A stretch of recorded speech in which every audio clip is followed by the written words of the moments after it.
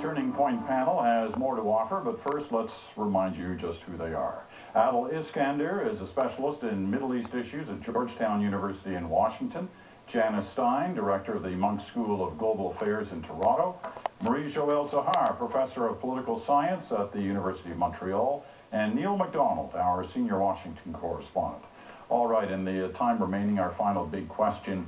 Are we in for a new world order? I have my reservations about how you're feeling, given your earlier answers, but let's, Marie-Joëlle, let's... Uh... Not really. The Middle East might be rejoining the rest of the world in terms of certain dynamics, but this is not, at least not yet, a game changer. I think I hear an echo from Neil. Wouldn't it be wonderful? Wouldn't it be wonderful if suddenly uh, democracies erupted with constitutions and independent judiciaries and law enforcement, uh, you know, uh, tools that would enforce the, those things? Uh, I think you can probably, you'd lose a lot of money betting that that's going to happen. Uh, it's just, uh, and you know something, if that was the case, we wouldn't be afraid of the, of the Muslim Brotherhood. They wouldn't matter.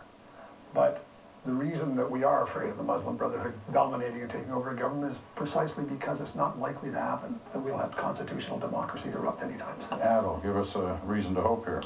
Um, I'm going to be the optimist here and say that I think it is a new world order in some sense because if you look at the new generation of people who are watching this story, uh, the youth, they are really quite captivated and mesmerized by what the Egyptians are doing. Um, I'm hearing from all over the world. I mean, basically, people are watching this and going, wow, this is, you know, the story of V for Vendetta and The Matrix. You know, these are popular cultural icons, you know, who are literally taking the challenge against a tyrannical authoritarian regime. And the story is incredibly universal. It can be grafted in any circumstance. Now, that doesn't mean that all of this, all of these chips have to fall simultaneously or even in a short time period, but we can begin to see youth becoming empowered enough to want to challenge various forms of authority worldwide, not just in the Arab world. I think this is a crucial moment, and people are watching Egypt and to see who are we to gainsay people who are fighting and dying and being hurt in their pursuit for democracy? It's a wonderful thing to see.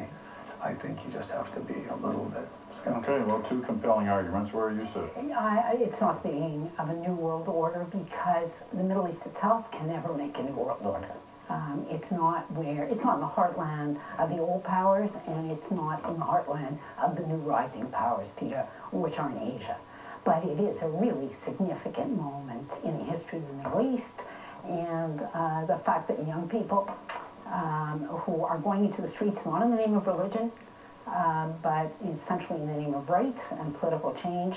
It's hard to remember a moment in the, in the modern Middle East where this happened. All right, I have one minute left, which means one sentence from each of you. Looking into the next two weeks, what's the one thing you're going to be looking for that will signal to us where this is going? Adel. Um, the, how the regime in Egypt responds to the mounting pressure and whether or not the pressure actually subsides. So this is the turning point, I think.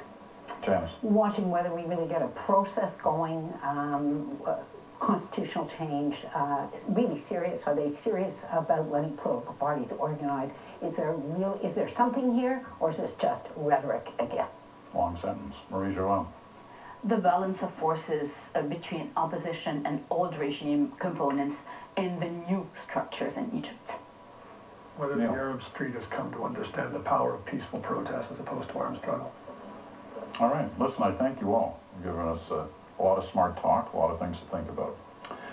We're always eager to uh, hear what you have to say on topics like tonight's. Please don't hesitate to share your thoughts. You can reach us at cbc.ca slash the national.